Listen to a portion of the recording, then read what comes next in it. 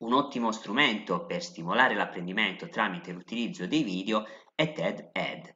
TED Ed è un'estensione di TED.com e più precisamente è la sezione dedicata al mondo della scuola. Ma che cos'è TED? TED è un'organizzazione no profit che ha come obiettivo quello di liberalizzare la conoscenza e le idee innovative e renderle accessibili a tutti proprio tramite le video presentazioni.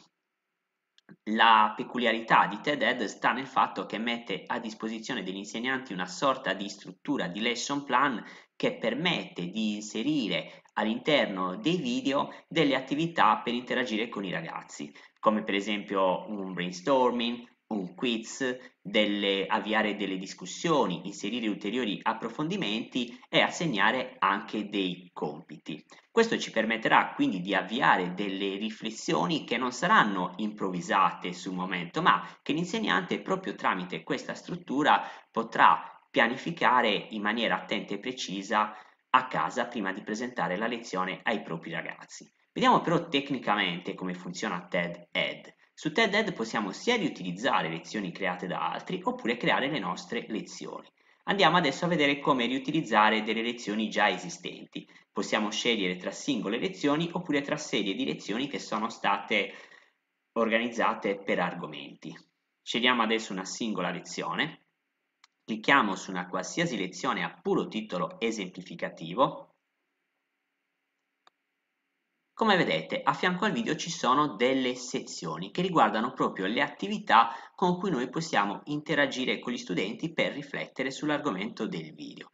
La prima sezione riguarda la visione del video. La seconda sezione, Think, è una sorta di brainstorming che potremo avviare tramite dei quiz, che potranno essere quiz a risposta multipla o anche a risposta aperta. Abbiamo poi la possibilità di aggiungere ulteriori approfondimenti tramite la sezione Dig Deeper. Qua possiamo inserire ulteriori nostre riflessioni, ma anche dei link a risorse esterne costruendo degli ipertesti. Infine con la sezione Discuss possiamo avviare delle discussioni. Queste discussioni potranno essere discussioni guidate, ma anche discussioni aperte che i ragazzi porteranno avanti e noi potremo monitorare. Infine possiamo aggiungere anche dei compiti, delle assegnazioni. Se clicchiamo qua invece su Customize this lesson, abbiamo la possibilità di personalizzare questa lezione, sostituendo i contenuti già inseriti con i nostri contenuti. Abbiamo anche la possibilità di cambiare il video e quindi creare una nuova lezione da zero o tagliare il video. Cliccando qua su More possiamo vedere un'anteprima o cancellare la lezione, mentre se clicchiamo su Publish abbiamo la possibilità di condividere facilmente la lezione. TED ci chiede se vogliamo condividerla tramite account, quindi facendo accedere i nostri studenti a TED oppure se vogliamo rendere la lezione a libero accesso senza bisogno di avere un account. Clicchiamo quindi su Share Your Lesson verrà generato in automatico un link che noi possiamo facilmente condividere con i nostri studenti. Le lezioni che possiamo riutilizzare su TED Ed sono tantissime, come abbiamo detto sono tutte in inglese ma hanno sottotitoli in italiano. Vediamo però come possiamo creare la nostra lezione da zero.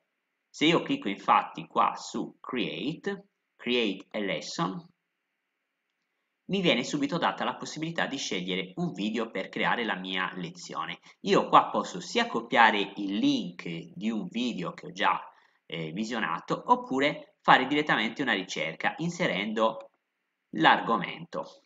Immaginiamo per esempio di voler parlare di inquinamento e di volerlo fare con i bambini.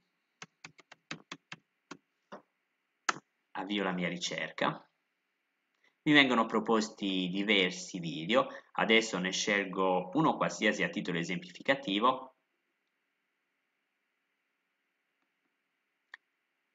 Ho la possibilità di vedere un'anteprima e poi cliccando su Continue posso iniziare a creare la mia lezione. I passaggi sono quelli che abbiamo già visto. Abbiamo la possibilità di introdurre il nostro video con una presentazione cliccando su Let's Begin.